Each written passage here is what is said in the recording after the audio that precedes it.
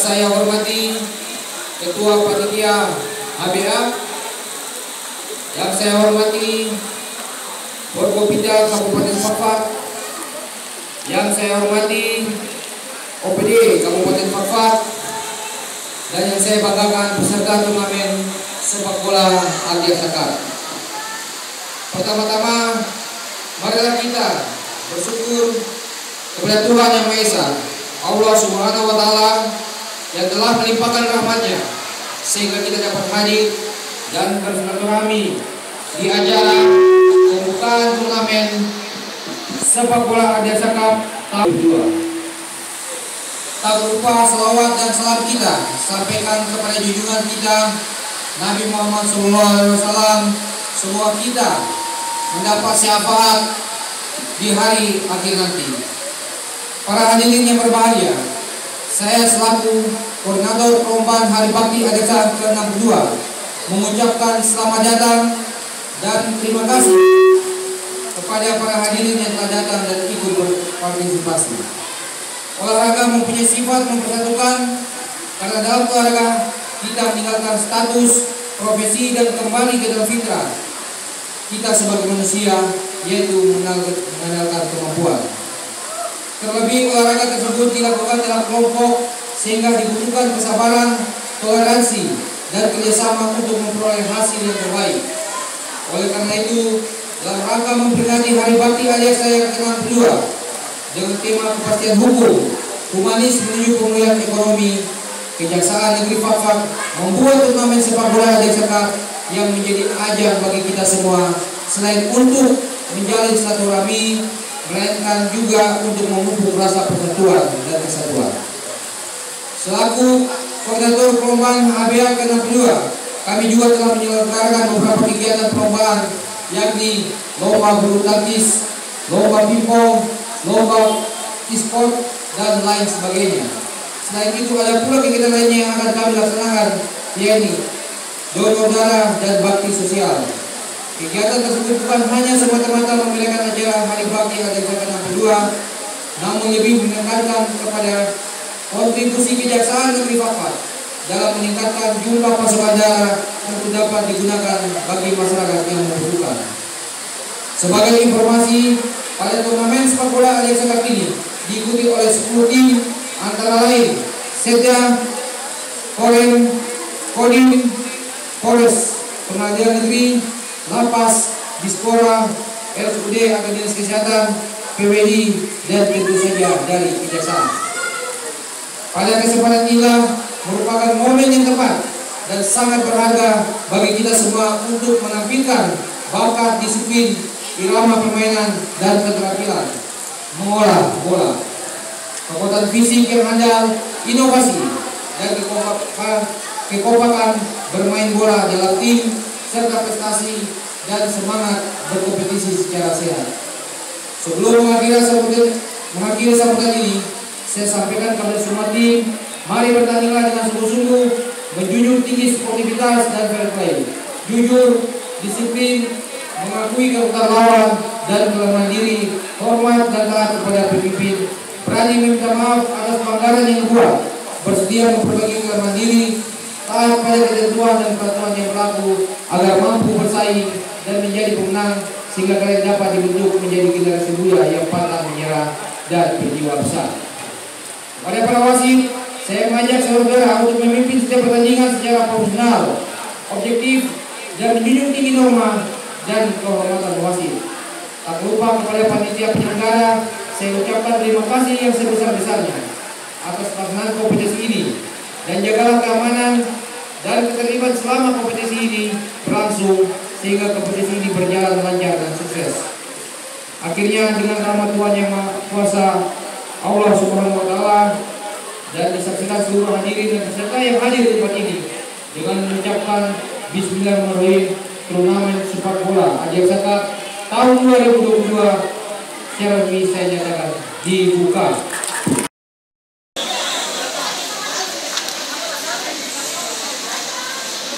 Pak Tereng.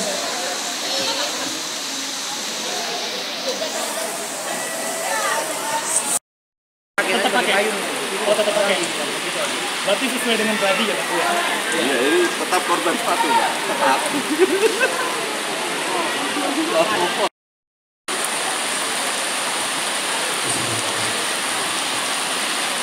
Assalamualaikum warahmatullahi wabarakatuh. baik selamat datang yang ucapkan kepada bapak ibu hadirin tamu undangan yang terhormat di acara persembahan spesial dari Kejaksaan Negeri Papua selamat datang di acara turnamen sepak bola Adiaksa Cup dalam rangka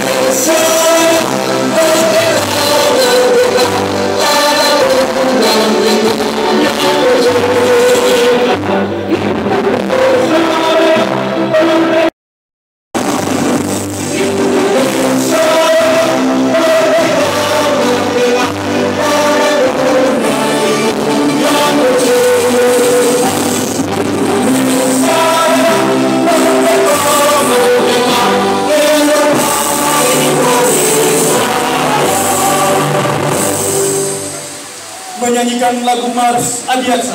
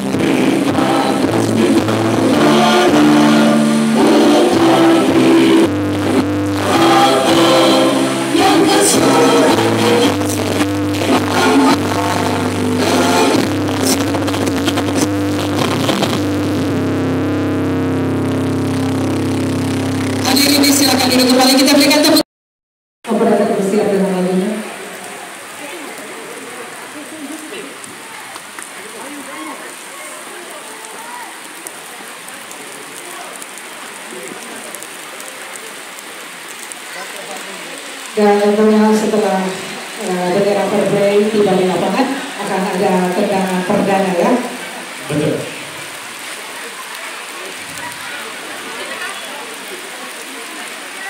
Operator siap.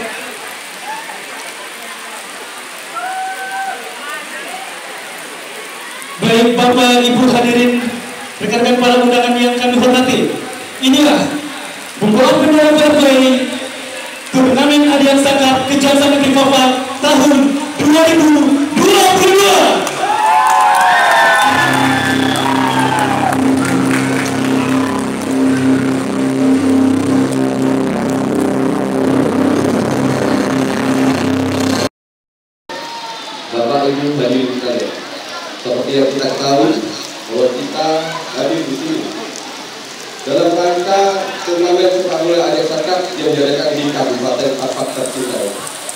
Turnamen ini diselenggarakan dalam rangka memperingati Hari Bakti Karya Sastra 62. Seperti kita ketahui, adanya pandemi COVID-19 sudah membuat cara bersilaturahmi telah berevolusi.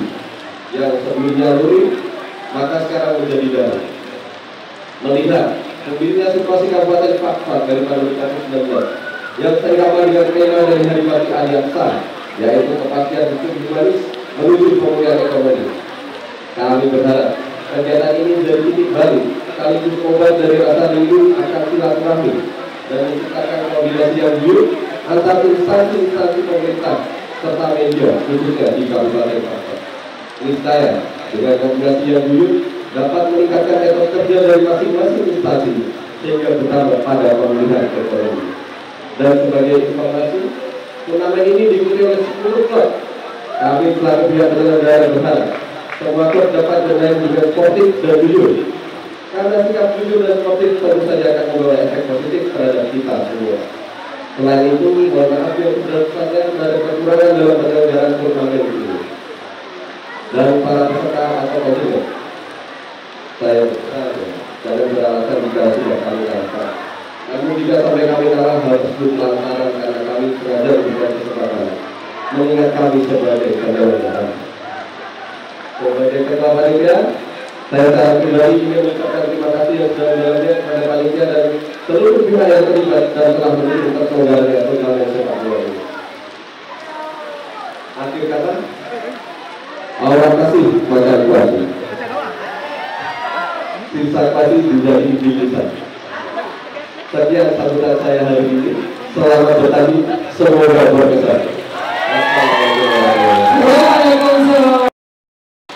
Turnamen Nadia Sakap memperingati Hari Bakti Nadia Saka 62 Kejaksaan Negeri Fakfak.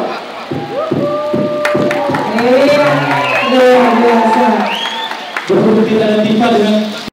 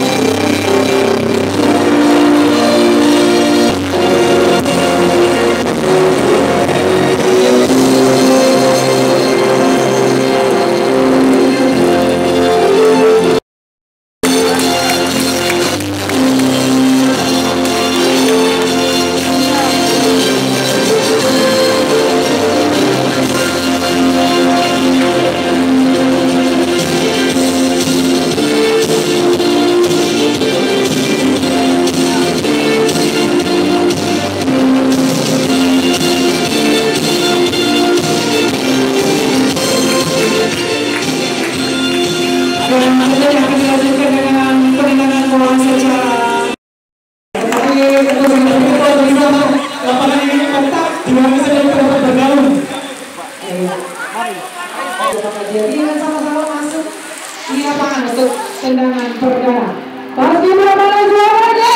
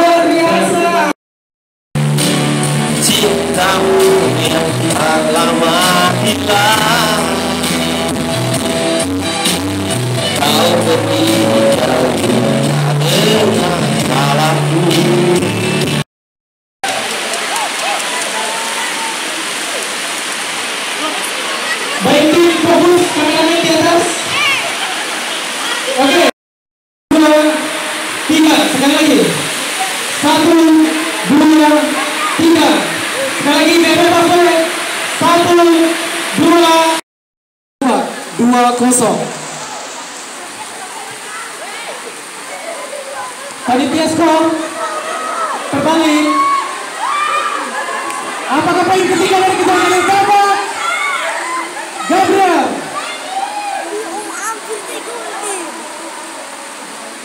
Iya. Semangat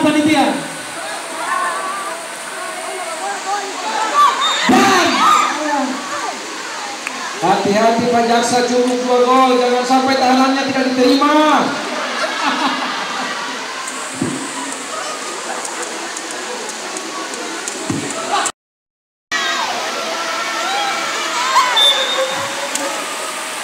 Dapat.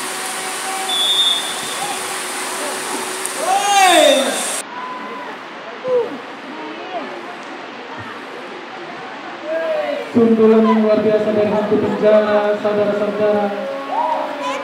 Baik suaminya Eti mengirim bola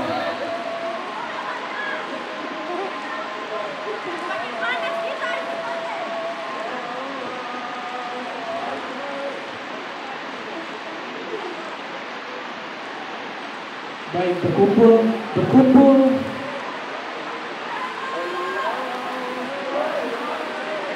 Yo, bola masih ditarik Kapten Popot, lapas Popot Benny, kembali bola bersama Benny. Ancaman untuk lapas Popot Apakah poin ketiga?